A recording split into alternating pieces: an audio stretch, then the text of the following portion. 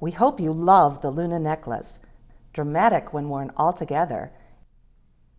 You can create two additional looks as you remove the individual drops by simply folding them up and off of the hooks in the back.